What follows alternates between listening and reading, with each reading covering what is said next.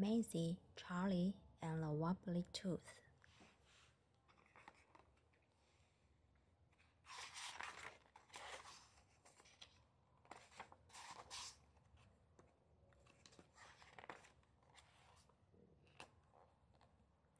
One day, Charley had a wobbly tooth. He was a little frightened, but Maisy said he should go to see Dr. Byright, the dentist. He's ever so nice, Maisy said. Everyone went with Charley. There was lots to do in the waiting room.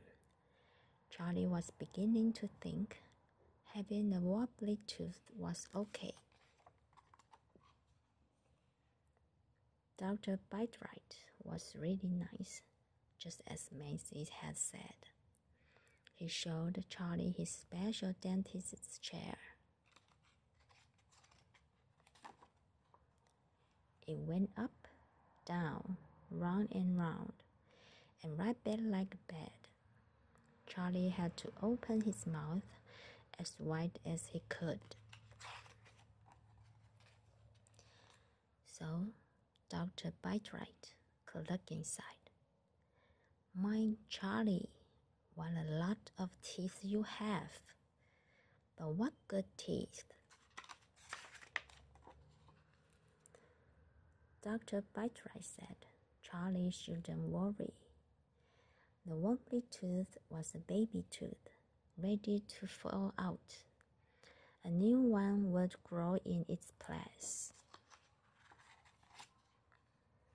Then Nurse Sparkle took an X-ray photo of Charley's teeth. Smile, Charley. And Charley and Maisy learned how to brush their teeth up and down front and back, front, back, up, down. Then Charley had to rinse and spit the mouthwash, and rinse and spit again. Until his teeth were dusty. Dr. Byright gave Charley a smiley badge and a book about teeth. and Charley wibbled his wobbly tooth all the way home.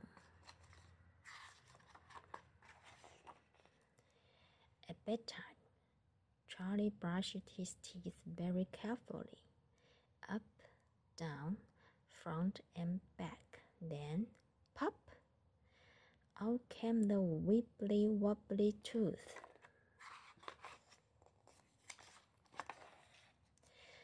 So Charley wrapped it in tissue, tucked it under his pillow, and waited for the tooth fairy to come.